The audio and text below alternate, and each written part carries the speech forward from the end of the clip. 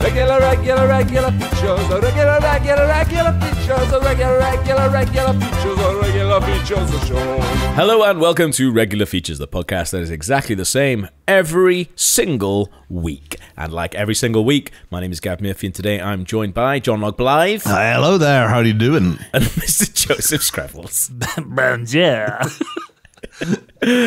Whoa, we got some features. We got some features, boys. Log, what are you wh- what are you bestowing upon us this evening? I am reacting to my last week's feature in which I detected a small girl being obnoxious in the background, and I'm here to tell her she was not right. you don't know me, little girl, but by the end of this feature, your ears will be ringing.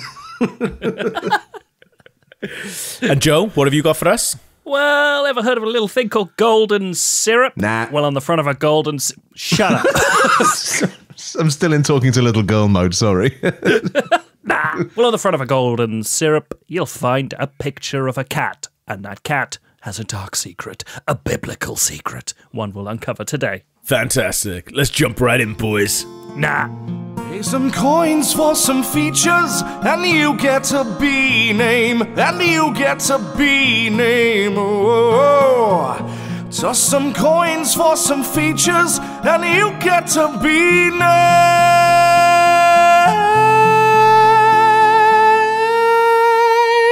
I know this feels this uh, saying this is a bit old man shouts at cloud, but I feel like every funny video that I get sent now is like just three minutes of the worst person in the world character, and it's just a comedian pretending to be someone who is a shit. oh, right, Just right. being a shit. At what point was that? We were like, this is because like I saw one the other day. It was like, oh, imagine if someone was like this, and it's just someone be. I was like, no one is like that. That's not funny. What, what, not even one of the famous Twitter comedians impersonating a politician like that. It's just imagine a generic dickhead. Yeah. Oh. It was like, oh, ima- imagine if someone reacted to the news like this, and it's just, and it's like, it's always like a posh white person. What? Sorry. One of my friends, imagine if one of your friends brought a euphonium to the pub and played it every time you had a drink. That's what it's like, man. The one I've noticed recently, I've been served, I think I've had three in three days, and they're not that bad, but it's always like daytime television shows are like this. Yeah. And then they do like 500 different four second skits. And then today's one was like, everything in the 2000s on TV was a little like this. I had that one, yeah. Uh, and they're not bad, but I don't know why that's the format. It's like Yeah. instead of doing one sketch, they do 300 of them, and you only remember one bit of it. Yeah. And the whole comments is people saying their favourite four seconds. exactly. Yeah. Yeah. They've absolutely algorithmed their own comedy. It's crazy. anyway, let's do that. Because if that was Vine, you just have the one clip and Yeah. it'd, be the, it'd be the funniest thing you've ever seen. yeah. That's one Vine account over the course of the entire lifespan of Vine. yeah. All the famous Viners got to be looking at TikTok being like, fuck that. They're going to burn out by next week. What's that? Three and a half minute sketch? It's like, yes, my whole winter output. yeah, it's one of those things where I like I, I, I now and again look at TikTok and things like that and be like, oh yeah, like I've got a funny idea for that. And then I just go, I'll just I'll just say it. I'll just I'll, I'll say it to a friend. The only- honestly, the only thing I think. Oh no, I've got two things on TikTok. One I find funny. The other one was me. I bought some Chinese sweet and sour chicken balls, and one of them looked slightly like an ocarina. And I spent fucking ages doing the little Ocarina of Time music while fiddling on a Chinese chicken ball. Hmm. And it just sits there with like 30 views forever. I'm like, why? I wasted an evening on that. What is the point? My um, so I've got a mate who's like uh, jobbing stand up, and he's just like, I'm not fucking doing it. I'm not fucking doing it. Um, but like my my niece, when I, I was home at Christmas, um, she, she's she's in a TikTok and making videos on TikTok and that, and she's had a couple like pop off. Oh, wow. But ever since ever ever since then, has ne- not been able to replicate it. Even though, as as she says, she's making funny as shit. But she was like, "I've got a little uh, so we got really pissed up on Negronis on Christmas Day, and uh, she was like, "I got a little theory though." She's like, taking a fucking hit of her elf bar, like, like fucking. You never guess what? This is what they do, right? They give you one Yeah. early do- early doors in your TikTok career. It's like when you're playing bots on Fortnite when you just start so that they hook you. Yeah, she's like, they give you one, and then you're hooked, and I can't get it back, because I've had two. I've had two. Which one was the bot success and which one was the real success? The thing is, though, I was like, uh, like I think I'm so insecure that I'd be like, I don't really want to try TikTok because what if I don't even get one? I'd be like, even the bots don't want me. Yeah. Uh, Just an es- escalatingly desperate series of videos of you going beep bloop ba ba blah blah. Love me. just holding Coco up. Is this something? then topless with Coco. What do you want? You don't want the ass. You can't want the ass. That sounds like one of Steve's old pornos he used to talk about. yeah. You can't. You can't want the ass. Volume four. features. The regular features. Spooky noise in your ears. Features. A regular features. Ghosts and wolves with teeth coming into your bed. Boys, we conferred just before the podcast began mm-hmm. on whether either of you had seen the logo on the front of a tin of Tate and Lyle golden syrup. I think I remember it because it's something from my formative years in the 1920s. Without looking, log, describe it. A dark green, Yeah. white ink, a kind of wrought iron border, hmm. and a lion. Wi- There's on a all lion involved. with hmm. without what's the word for rampant with one paw up, like he's going, "Oh ducky, get you." It Quite, does- quite the opposite, look. Is he um, rampant on one foot? Oh no. Quite the opposite of even Ooh Ducky. It's a dead lion. Dead. Look at it. I was gonna say, is it is it because golden syrup was never a big thing in uh, in our house, but is it quite passporty? I feel like It it's quite a bit, passporty. yeah, it's quite pass. That's a great way of putting it. It's what if Fortnum and Masons made a passport? That's what it is. Fucking hell, is he dead? That's a dead lion, my friends. Has he been shot? oh yes. Well, There's, then there's flies all around him having a bit of it. you've fallen into the trap, Log. You've fallen into the trap. They're not flies. This was a Bullets. scandal. They're on the tiny internet. flying lions. what? This was a scandal on the internet a little while ago, and people came in and said, "There's a story behind this lion." Ooh. Do you see the quote under the lion? Out of the strong came forth sweetness, Do you know what's sweet, boys? That's not golden syrup. blood. Sugar, lion, What do li- we? flesh. What do we love that's sweet? Fucking hell, are they bees? They're bees, boys. no way. What? Is that fucking lion a honeycomb? Yes, it is. The fuck. The lion is the hive, boys. the lion. Lion is, is the hive. that was Who was the, phone? that was the funniest bit in your ramble thing. Where you say, "Cheer is hive." Uh, yeah. What the, fuck is out, happening? Out of the strong came forth sweetness is based on the Bible. It's from a Bible story. Oh, hmm. what? It's from a cool Bible story about Samson, who once scooped honey out of the guts of a lion hive. What did you do that for? This is all real. Why did you do that? Well, how about, Gav, we do a bit, a little bit of Bible reading today. Oh, What if I was to read you from Judges 14, from where this story originates? Hmm, okay? Let's tell the story of Samson the lion and the bees. Fucking hell. This is Judges 14. I got it off Bible.com. I don't know what translation they do on Bible.com. This, is, this better not make me religious. It might do. Samson went down to Timnah and saw there a young Philistine woman.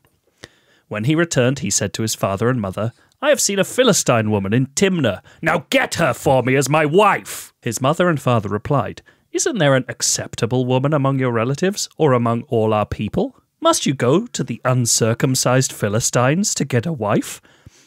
Sidebar. I don't know why they care about the wife not being circumcised. Seems very odd to me. But Samson said to his father, Get her for me. She's the right one for me. Samson went down to Timnah together with his father and mother. As they approached the vineyards of Timnah, suddenly a young lion came roaring toward him. The Spirit of the Lord came powerfully upon him, so that he tore the lion apart with his bare hands, as he might have torn a young goat. Yeah, that's my go to for tearing apart comparisons. Yeah, like tissue paper, young goats. But he told neither his father nor his mother what he had done. Then he went down and talked with the woman, and he liked her, says the Bible.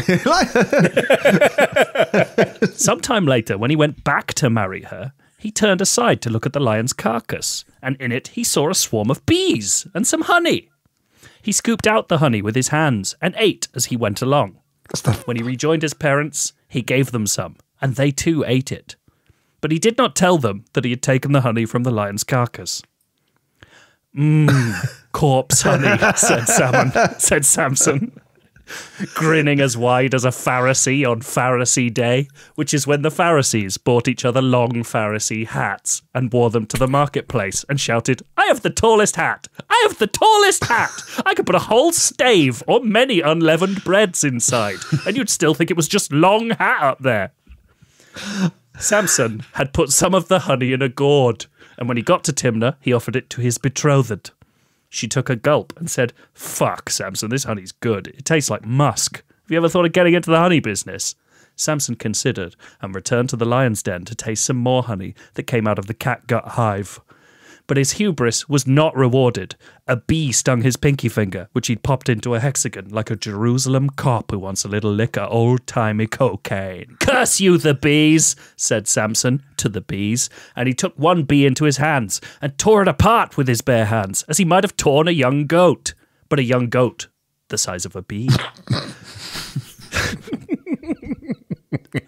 they wrote different in those days. Samson returned to Timna and said to his wife, No dice, babe. The bees won't let me have more honey. And Samson's wife lamented and cursed God and bees and tore out her hair and put it in her pockets and went to the well and emptied her pockets into the well, and all the Philistine stews became full of hair. Samson went for a walk out of fury and came upon the lion corpse and the bee corpse. And in the bee corpse, he saw that an even smaller swarm of bees had made honey inside the dead bee. he scooped out that honey and tasted it and said, Jesus Christ, whoever that is, what a honey that is, and ran home. Wife, wife, he shouted when he got back to Timna. I've got even better honey now. And Samson's wife praised God and bees and drew water from the well and glued all her hair back. well, at least as much hair as was left after all the stews got full of the hair. Two years later, Samson and wife. Caption, new chapter. Fade. That's a whole verse. Just that line. Two years later. I, That's Judges 14 9. I love how judges 13 7 and 13 8 were both, I have the tallest hat.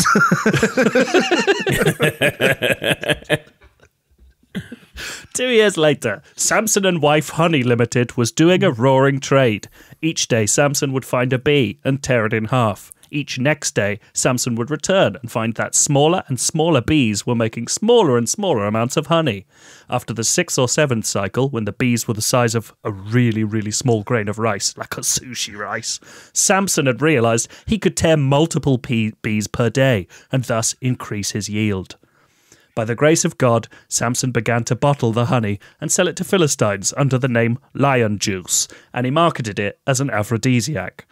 The Philistines would use it as a sort of sex lube, but sometimes it hardened upon their cock if they had a longer sesh, and in a panic, the Philistines would tear at it and remove their foreskin by accident. And that is how Samson finally circumcised all the Philistines. Here endeth the lesson. So just remember that when you next eat a pancake. of the two things written on it, the out of the strong came, came forth sweetness. That's cryptic, but the, Yeah. one, the one thing that's hmm. slightly more cryptic is partially inverted refiner's syrup.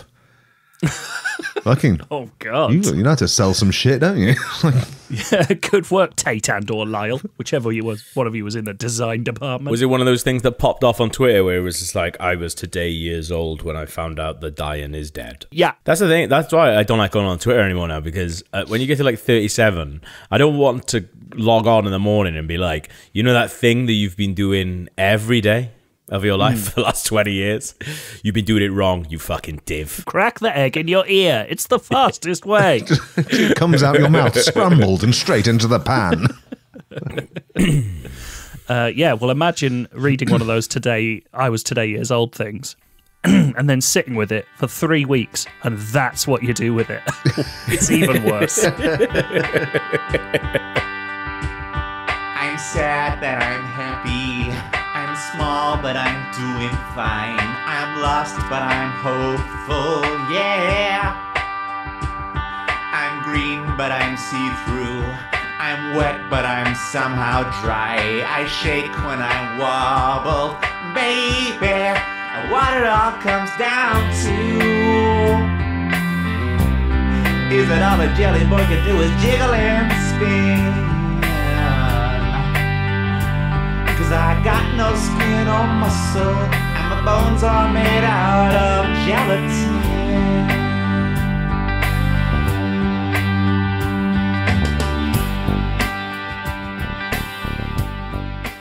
Because we're in the middle of the podcast now, it feels like I'm allowed to say this uh, because putting at the at the top would feel like we were taking the piss. Um, but I don't know if you remember anyone who follows us on Twitter or you guys as well. Um, but British Kebab Awards. What? In the news? The- yeah, of. so, so there the- should the Brit- be. they they they they so a little sort of peek behind the curtain. Obviously, we did uh two kebab episodes in 2020. Was it? Yeah, pre- 2019? preview and review. really that long ago? October 2020. Oh, wait. No, it can't have been. Tw- it must have been 2019. Still so raw. Fucking hell. Fuck Is that is that right? No, it's not. 2021. Yeah, yeah, yeah. Um, Got to be. Yeah, exactly. It's been a 2021 and a 2022 already. Um, but basically, yeah, we did a, the preview and review of the British Kebab Awards, which people really enjoyed. Um, and then the weird thing happened where the awards were in October, but they were meant to be in March. Um, and the year after, rather than move the f- 2022 awards, they had the British Kebab Awards in October 2021, and then they also had a British Kebab Awards in March the following 2020, uh, 2022. um, Which meant all the kebab houses had to make twice as many kebabs to qualify Yeah. in half the we- time. which which felt very quick to me. Um, they were sort of no, they weren't weird. I mean, like I, I don't, it's a fucking awards thing that costs three hundred quid a ticket. Like I don't want to be like, oh yeah, they didn't invite us. No, um, they invite. After all you did for them, Gav. yeah, I know. um, but la- late doors, Joe and I got invited to. I think what we worked out was like the intro reception. reception. Yeah. Oh, is that like getting So- invited to the press room before? Imagine the evening do at a wedding, but opposite. You Yeah. just get the bit where everyone's sort of milling about and getting to know each other, and there's some chips because yeah, they're sponsored by chips. yeah, it's not even like the evening do, is it? It would be like getting invited to that bit in the wedding, which lots of people dislike, when there's like you know, like the ninety minutes of downtime in between the ceremony and the Yes. food and all the all the fun shit. That it's getting like it's, it's, exactly it's like getting invited to that, and then when everyone fucks off to get food, they're like, "All right, see you later, mate." Um, so we got invited to that. So we on the day. So we politely declined and said, "Oh, I'm sorry, we're not going to be able to make it down." Blah blah blah. blah. Then when they announced the new uh, British Kebab Awards, we I think like we one of either Joe or me, I can't remember who it was anyway, but quote retweeted the announcement with um, how many retweets. Oh, yeah, to get, yeah. to get Joe and Gav to the awards and to get to present an award legally in brackets legally. like if those people have never listened to the, if the British Cabal has never listened to the podcast, I don't know what they thought of the brackets legally. anyway, Maybe they thought we were treating this as a verbal contract. yeah, Do you kind of remember this? Didn't they say something like 10,000? five Five thousand. thousand. Oh, that's not that man. Yeah. Well, that's too, more than I've ever had, but whatever. I mean, we about four and a half thousand people listen to this podcast that we that we think we don't know actually. Like hmm. I think on SoundCloud it's usually between like three and five thousand. Gold, the old episodes have got in the fucking twenties, mate. I think just be, we've just got loads of dedicated people who go down backwards and hate us now. Well, dedi- dedicated, be fucked, are they? Because we've only got 115 retweets on that tweet. Like, It's I think, Wildly good. for fucking about on Twitter. yeah, true, actually, yeah. Um, but as good as that is, is uh, very late of the mark, very, very wide of the mark to 5,000. Um, so I looked at how much it would cost to buy the retweets. Oh, did you do it? so it's been on my list to do for ages, on my to-do list for ages. Um, and then today, then I was just farting about, so I thought, oh, I'll just do that. Did it, uh, paid for um, um, was just about to send a text to Steve going, "Hey man, uh, gonna need some Patreon dollars because I've because I've just bought five thousand likes on a tweet. Um, bought it anyway. They're gonna be delivered between in seven to ten days. I assume they parcel them out so it doesn't look fucking insane. Um, I mean, it wouldn't look And- insane, would it? Because like they're all retweeting it to themselves. It's not like anyone's going to see the retweets. Yeah, that's true. Well, this is the thing. So I sent Joe a text, very excited, going, "Hey man, just let you know, because we talked. Joe and I talked about this plan in the pub a couple of times, and I was like, oh hey man, just let you know, I finally did this, blah blah blah. Uh, just bought the five thousand likes, Joe. Then I get a text back off Joe, but Gav, they asked for five thousand retweets, not likes. Oh, you fatty! I just assumed you'd misspoke. Then I was just about to say Gav Gav. Gav, have you mm. have you said how much that cost you? That's doesn't matter, Joe. So It doesn't. If that okay. costs any more than twenty quid, I'll be fucking Oh disgusted. mate, you're gonna be way, so angry. way more than it's way more than twenty pounds. It's so much more. It's so cheap to get bots to do fucking likes. no, it isn't. Well, I could I could do one now for nothing. I like it. You've walked that back so quickly. You're like, it's so cheap to get it. Go on, Oh, then. fuck off! Uh, I've got an alt. I want could do two. Fuck you. Um, Have you got an alt? Yeah, it's just to call people cunts. Of course he has. So I fucking reached out to this company anyway. And I said, uh, Hi there. Sorry to bother you. I, ac- I accidentally bought likes instead of retweets for this. Would it be please possible to cancel slash change my order to retweets and then I'll pay the difference? We're a little funny podcast and doing all this for a little bit of a joke. So if you can help us, that, that, would- that would be so helpful Our business is a joke to you. the fucking the uh, the guy wrote back going, "Hi Gav, thanks for reaching out to us. I've done some checks and you ordered Twitter likes. Please see the attached screenshot from our portal." And I was like, "Yeah, I fucking know what I did, man." Um, so I said, "Yeah, yeah, yeah." Um, I'm fully, uh, fully, fully aware. Is it possible to have that change to retweets instead of likes, please? Thanks. Hi Gav. We cannot do that. we have placed your order. Please reorder again if you want retweets. It, it costs you. us as I much to them, yeah. unlike a tweet as it does to like a tweet, i.e., nothing. Once the genie's out, Gav. Once the like genie's out, they ain't going back in. I love I love the blind optimism of the man who's trying to deceive an awards organization. Going to the company he uses to deceive them and asking for a favor that costs him money. Like they're not going to change it, Gav. Listen, listen.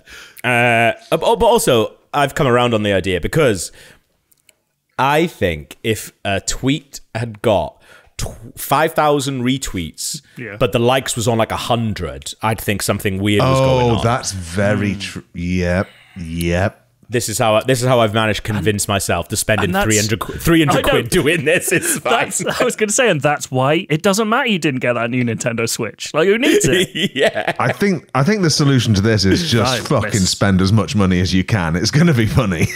It- I mean, it pays. It's going to pay for itself. anyway, B names now cost three pounds an episode. I'm also gonna um if we get if we get there, I'm gonna pretend it's your stag do Joe because you're getting married this year, uh, and I'm gonna I'm I'm just gonna say. Uh, I'm gonna spring surprise stag do's on you throughout the year. I mean- so any anytime we go to the pub, be like, "Today's your stag do, baby." you really got ahead of this because you did that to me in Sitges eight years ago. So you left me with a group of women in a gay club explaining where the church was because I couldn't give couldn't give good enough directions. I forgot. I told him you were getting married the following morning. Yeah, and you tonight. said, Yeah. and they said where, and you said, oh, you know, the church on the hill, and then left, and I had to kind of come up with fake directions to the church on a hill because they didn't know where it was, and they were local. Nehmen Sie die erste Straße links. Well, I wish I could have got you over to do it, Log, but you'd taken all your clothes off and were dancing around a pole. Ah, I was. You wouldn't catch me doing that now. we all took our clothes off. We were in varying states of problem. It was great. And someone said English to us. oh, yeah. and Gav beat him to death. How many likes to get us to Sitges? Thought I was lost in a hairy past. Soon turned out it was Gavin's eyes.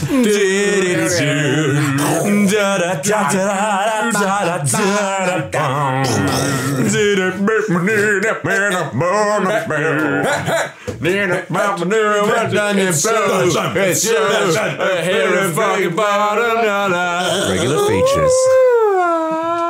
Gav, for when you're editing, I'm going to press random buttons on my soundboard. I won't be able to hear them, but seemingly you will. Please enjoy. I'm going to guess this is applause. I don't know what that was. I'm going to guess that this is a plane taking off.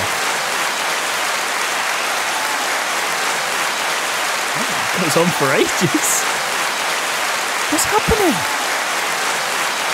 Oh, I can't wait to hear what the fuck this sound is. It doesn't stop.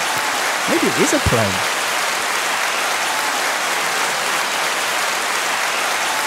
It's still going. I'm gonna. I'm gonna guess that this is uh, the donkey from Shrek saying donkey.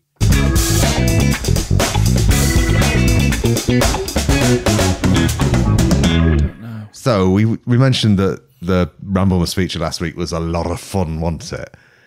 yeah, but um, did you pick up in the middle of my feature? There was like there was a bit where I went silent. It was a kind of a narrative pause, yeah. and you heard a little sort of voice in the background.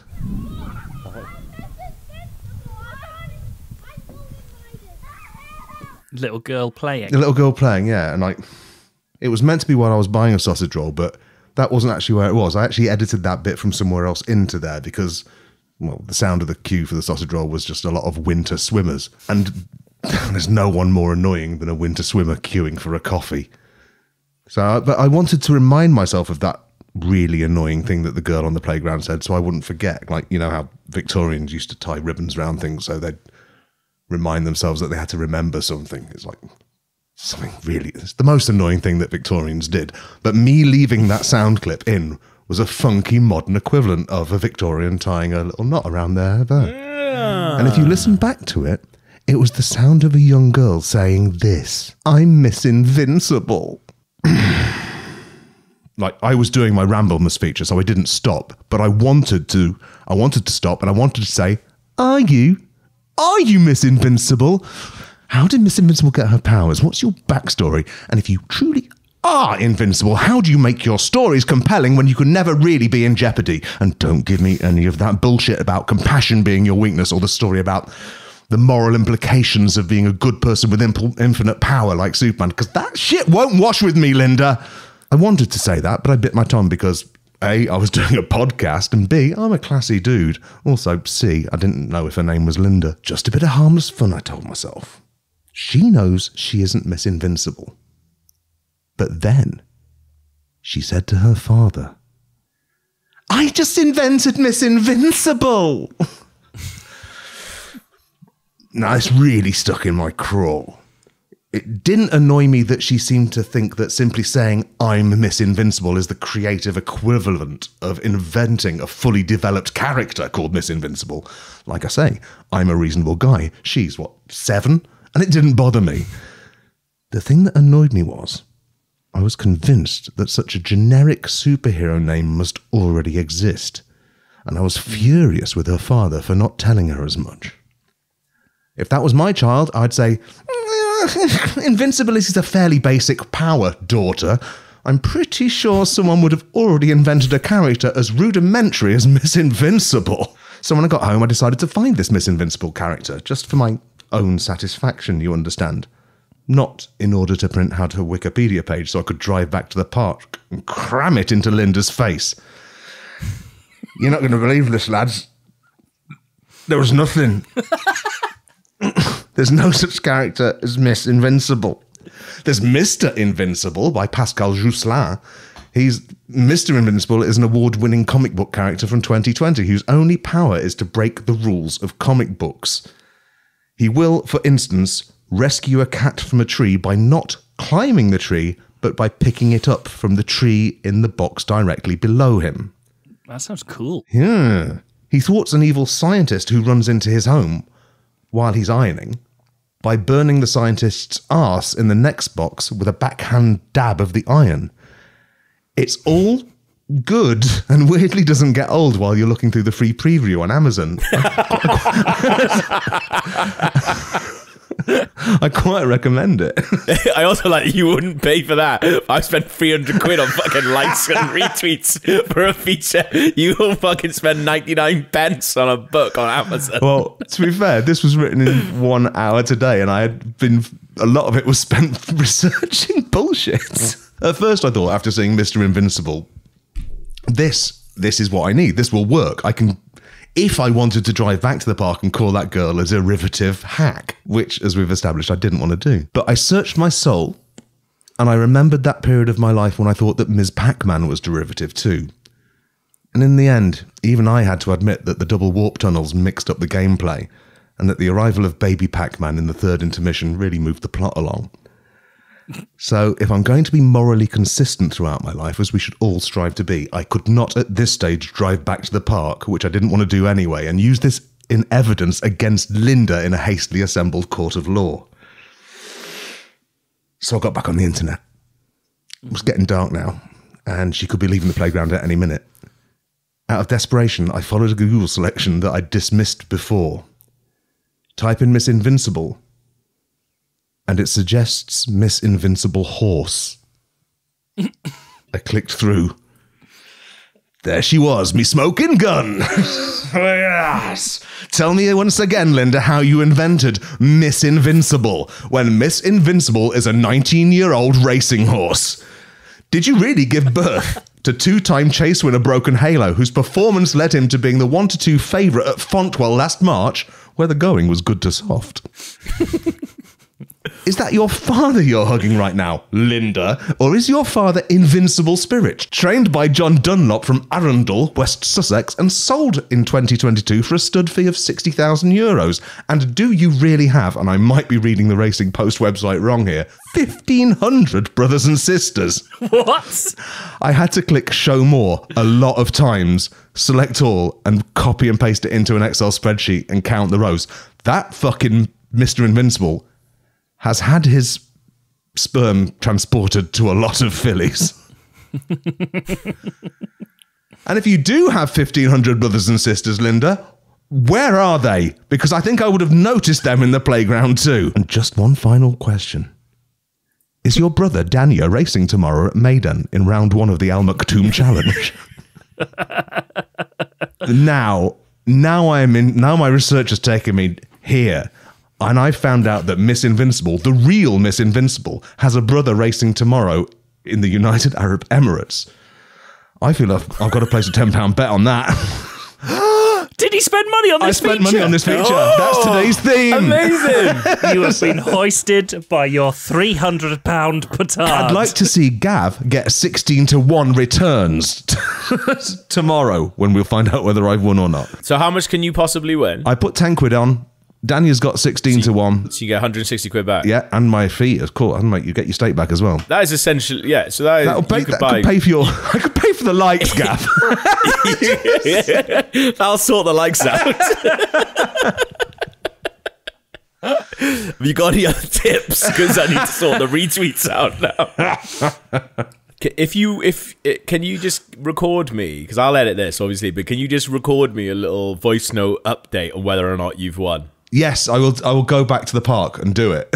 Just like here I am. Yes. And if you haven't won, jump in the lake. Titty titty bum bum, titty titty bum, titty bum bum, titty bum, titty titty bum. Hey Gav, I'm in the cellar of my pub and I've got the results of the race. He didn't win.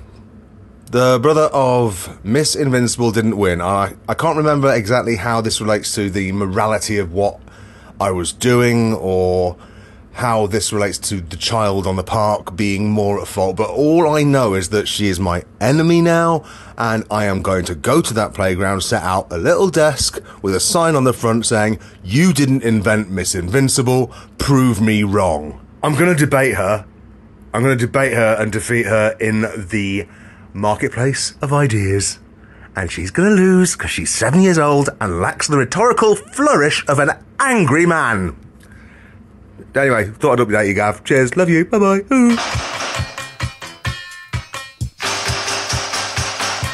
The best things in life are free. But my favorite comes out of a bee. I want honey. That's what I want. That's what I want. That's what I want. The queen gives me such a thrill. But it's out of drones the syrup spills. I want honey. Buzz, buzz, buzz, buzz. Buzz, buzz, buzz, buzz. Buzz, buzz, buzz. What a lovely episode that was. I enjoyed it very much. So lovely. I believe we should be paid to, to, to, to do it. It's nice to it's nice to talk live with you. It's been a f- couple of episodes since we've been all mm. seeing each other's faces move. Double Yeah. remote Um, but yeah, if uh, if you thought that was good as well, and you'd like to support the podcast and make sure that it continues um, long into 2023, then you can chuck it some money on Patreon by going to patreon.com forward slash regular features. But we're not old timey uh, medicine clerks. You don't get nothing. we, we, we, We, d- we don't, you, you don't we're not data input people. what? No, if there's if there's one thing about us, we are not old timey medicine clerks, um, and you don't get nothing for your money. You get something for your money, and what do you get? Well, interesting. You should ask because you get access to the Beehive, which is a very exclusive Discord uh, populated by the sexiest bees in podcast land.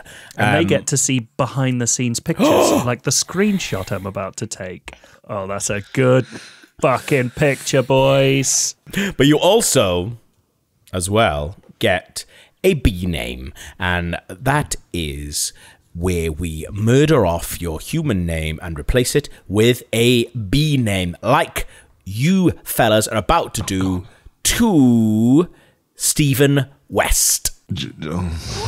Old old time bee medicine clinic. Old time B. Uh, can you also please give a B name to Angela? Oh, that's not much to go on. Please, Log. That's not much to go on, said the bee to the tiny hexagon. I was gonna go for Danglia Plansby. Oh, that's good. Danglia. Danglia Plansby. I don't know what plans B is, but She's got a dangly ass and she'll sting you, but plan B, she'll solve the mystery. Danglia plans B. Very good. That's beautiful, Joe. Well done, mate. Uh, can you please give a B name to Chris Robson? Rob the sun to give to the queen. You've got to include the little grunt at the end as well. To give That was- to the Queen grunts. uh, let's let's do let's do one more. Okay, and finally, can you please give a B name to Samuel Wood? Flapping till I'm crapping. Flatfin till I'm crapping. Fantastic. Oh, that really got me. I love flapping till I'm crapping. That was really good. Really, really good B names, guys. Well done. Um, if you if you'd like to get involved in that nonsense, then please go to patreon.com forward slash regular features, jump into the hive, get yourself a B name. Everything's gonna be alright. Ah, it will be all right once you're in there as well. I guarantee that. Just send me a message. I'll reply. Regular features. Regular features. Regular features.